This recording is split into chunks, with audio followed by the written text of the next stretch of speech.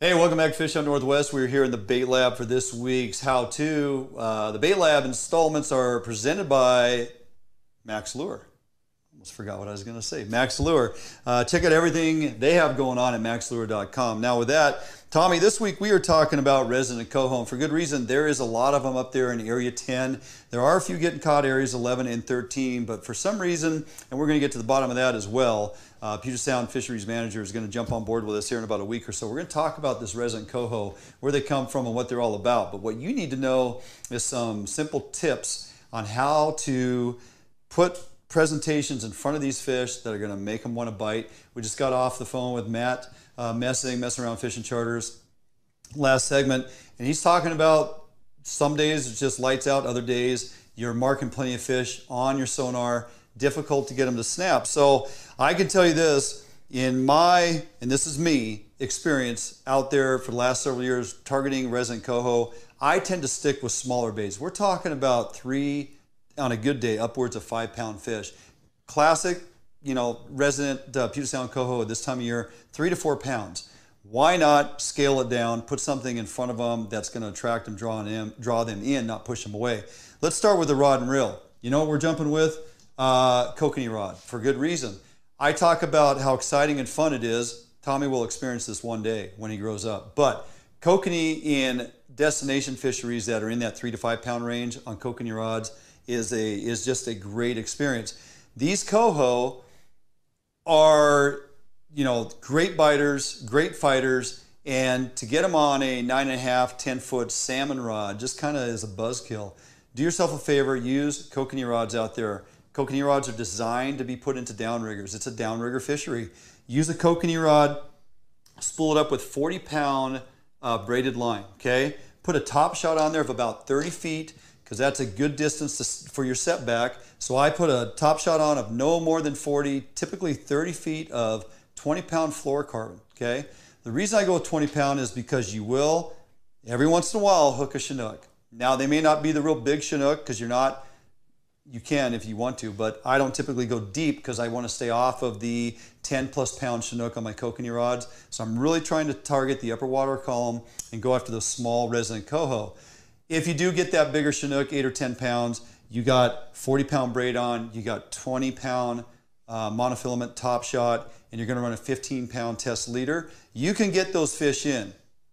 Uh, the biggest takeaway there is you're not giving up a bunch of gear. You're not losing your flashers, you're not losing your spoons, you're not losing your gear. Every time you hook a Chinook and break them off, it's costing you money, and that's not what we're in for. So go with your kokanee rods, 40 pound braid, 20 pound top shot, no longer than 30 feet, 15 pound leader. Tie your rigs up on two aught hooks, perfect size for these, the size of fish we're targeting. I go with the 8 inch flashers simply because of less drag. I don't need an 11 inch rotating flasher out there. These 8 inch Pearl Trolls work fantastic. The chrome works really well, the pink and white. Uh, it has UV and glow okay, on both sides. The Herring Aid is a no-brainer. Works in the adult version, 11 inch. These 8 inch rotators or these 8 inch flashers uh, with the blinky work as well also. All of these caught fish the other day, every one of them. And really what set us apart and what I think made the difference is a little alteration I did to the lures. Now, if we look at our spoons, we got our herring aid patterns, we got our pink scale, we got our solid pink, we got cop car. Some of these I put small two inch hoochies behind, always favorable when targeting coho and especially pink salmon, which will be coming in later on. Any of these patterns will work. And I stay with the number two or size two because again, we don't need to have the full three or four inch size spoons when we're targeting two, three, four pound fish. So I go with these number twos or size two. Coho killers work fantastic. Kingfisher spoons work fantastic. And I stick pretty much with this base of colors right here. Why?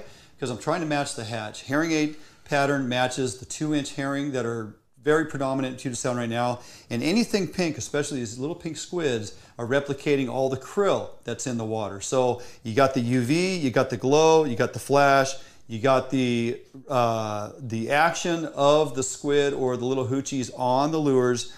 that's gonna just entice the bite. The color patterns match, the size of presentation matches, okay? So the spoons work great, but when the spoons stop working, there's a couple things you can do. We're gonna stay small, we're gonna scale it down. These Ace High Fly Juniors, okay? If you haven't used them or haven't found them, Ace High Fly comes in a variety of sizes. You got the full size Ace High Fly, you got the Ace High Fly Needlefish, which is what uh, this is right here. This is a herring aid pattern Ace High Fly Needlefish. This is your Ace High Fly herring aid pattern. This is the junior. Okay, it's about a two inch. It's got a hard nose on it like an Ace High Fly. Uh, and the colors are basically identical. The differences here are the length of the presentation, essentially, is what's going on, and the profile. Okay, the Ace High Fly, when it's drugged through the water, will narrow down. All right, and if you think about those two inch herring right now, two and a half inch herring, it's a very skinny, little short piece of fish. These Ace High Fly Juniors work, but keep in mind it has kind of a bell at the base of the head, which presses or pushes out or flares out the tentacles coming off that lure. So the profile in the water is actually a little wider. Doesn't make a difference. I don't know. The fish aren't talking, but you have to assume that this will definitely give you a wider profile. This will give you a more narrow profile. Basically, all I'm doing is I'm taking these Ace High Fly minis, these juniors, I'm tying a mooching rig, so to speak, with two aught hooks. I put a two finger width spacing between those hooks. I put a bead on top that rests against the bell underneath these Ace High Fly Juniors and set that down on there. The only thing I changed is I'm putting a bead on there as a bearing and I'm using a 0.08 size Mack's Lure Smile Blade, okay? On the pink ones, we had great success with the pink sparkle. Okay, that's these little guys right here, this pink sparkle. Again, it's the 0.08. We don't need to go with a big smile blade. We're simply going with the 0.08 because we're adding a little extra flash, a little extra action, vibration, and color. This chrome scale worked out well. This uh, pink mirror finish worked out very well. I think the, the takeaway for the day though was the purple haze matched with the pink Ace High Fly Junior this was a great combination, okay? Here's an example of that. That's that pink with that purple haze. The other one that worked really well, uh, probably my favorite, is the one I actually have tied on the on the rod right here. This is the Ace High Fly Junior with the smile blade, and that is a UV. It's the it's the fin the what? Yes, thank you. The moon jelly. I knew it's the moon jelly. So the moon jelly on that finish with that particular little unit right there. Now, other things that you could do, this is the Ace High Fly. Again, I told you it's a little bit narrower in its profile. Um, if you don't want to fish the full length, this one here we simply cut back to two and a half inches. It's going to resemble that narrow, slender little profile and shortened so it doesn't look too long and out of place. It also has the moon jelly, which creates that flash. The other thing I did, this one worked very well also, is I took, it's basically a two inch uh, squid. It's a mini hoochie. It's the two inch size. Um, inserted is a glow. Okay, same exact size, same exact pattern basically, but it's the glow with the herring aid pattern pulled over the top. So now I have glow, I got UV, I got the herring pattern, I have the flash of the moon jelly, smile blade. Um, they all worked. They all worked. The key here, I believe, and Tommy and I were kind of talking about it at the start of uh, the show tonight, that little smile blade on there gives an infrequent, uh, not a not a steady cadence, but a random cadence of flash. In nature, nothing goes in straight lines. Nothing is, uh, you know, specifically on time. It's all random and drug behind this eight-inch rotating flasher. You have it whipping around. You have it catching light at different intervals. Uh, that thing is wiggling back and forth, darting up and down. It's the colors that they're eating right now with the pinks and the UVs and the, the herring aid patterns. And then it has that periodic flash, what makes it totally look like it should be there in nature. Okay? Not saying it's an absolute must, just saying as far as options. Other things you are fishing, perhaps you're not finding good success up there. Maybe you're running five inch hoochies like Matt and just not finding success. Uh, scale it down, go smaller. Small spoons, Make sure you use your Pautzke's Fire Gel. Herring on the back of these spoons does wonders.